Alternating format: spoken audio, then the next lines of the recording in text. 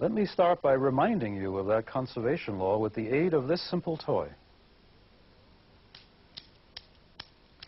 Clearly, all the momentum of one body is transferred to the other on impact.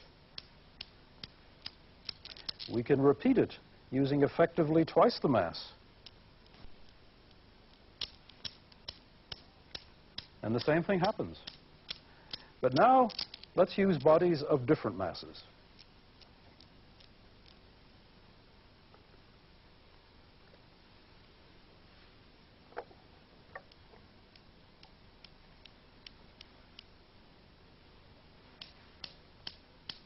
We can see that the heavier mass acquires a smaller speed.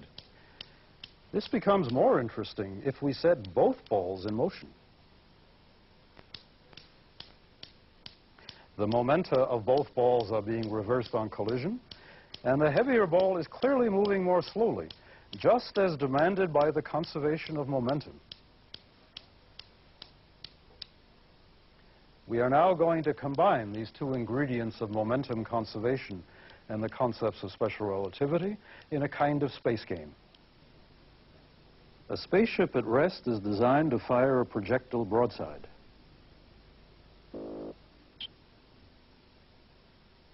Now, two spaceships at rest do the same thing, firing towards each other identical projectiles that move at equal speed.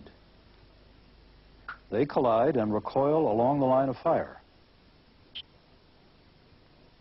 Let's concentrate just on the velocity of the projectiles before and after the collision. It's clear that the projectiles carry equal and opposite momenta. The total momentum is zero before the collision.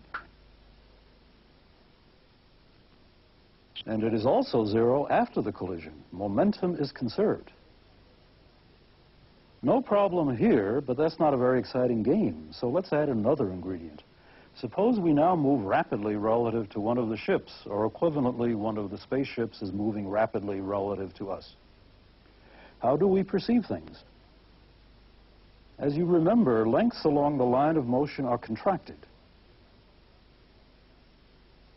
All right, but how about the act of firing? You will also remember that time significantly slows down. So the act of firing the projectile from its mothership is slowed.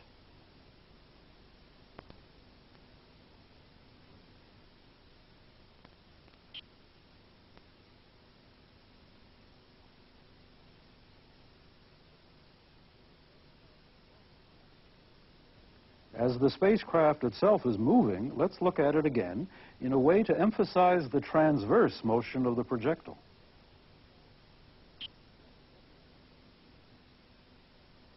Well, so far there's nothing new. We have seen the conservation of momentum and the effects of special relativity. Now we combine them in a new game.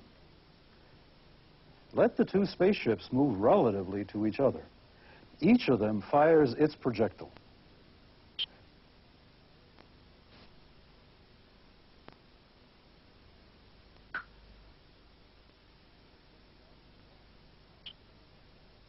Let's look at that end on to concentrate on the transverse motion.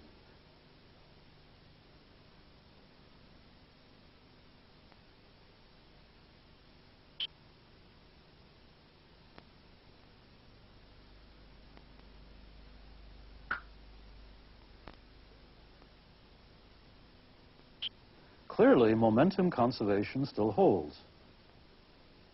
How does the same collision look when we move with that spaceship A? That is, when A is at rest relative to us. Obviously, A fires broadside. B, being in rapid motion, exhibits all the time-slowing effects we have discussed.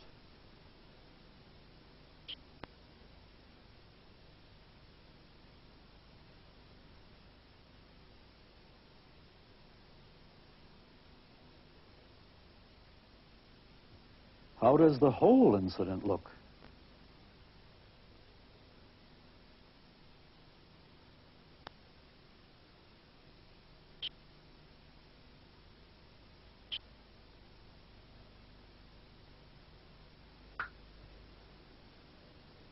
There's something different there. B fires first. By changing frames, we've lost the simultaneity of firing. That's just what you would expect from our discussion before, but we want to concentrate on something different here. Let's look at it again from the N view.